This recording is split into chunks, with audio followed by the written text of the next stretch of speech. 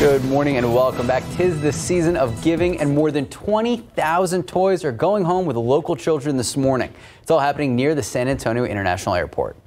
Toys for Tots is helping Marines from the 4th Reconnaissance Battalion distribute the toys. Our Camelia Wattis is there now. Good morning, Camelia.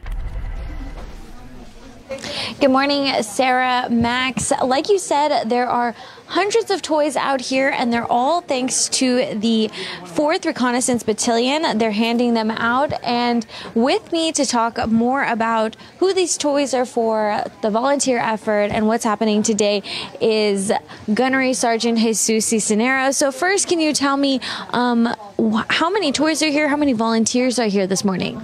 So, this morning we have roughly about 40 volunteers from all over the San Antonio area, and they're roughly going through about uh, about 20,000 toys, getting toys for the families that have registered that are here this morning to pick them up.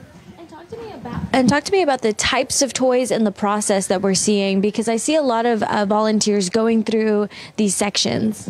So, all the sections are broken up into age groups. So, the section that you're looking at right now is 8 to 14 year old boys and girls. And what the volunteers do, they'll start up front, they'll have a sticky note that has the family's name on it and the, the number of kids, their ages, and their gender. And they'll make their way from the front of the building to the back of the building, collecting the toys, and then meet the families at the back of the building to give the family their toys. And so, who registered and who are these toys for?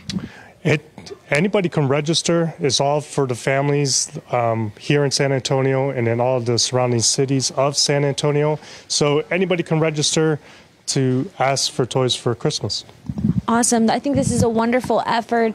Um, we're going to be following around these volunteers and keep keep y'all posted on the the parents outside. I know they're outside. We'll give y'all a look maybe in the next hit about those cars receiving toys. But for now, I'll send it back to y'all in the studio. Max, Sarah.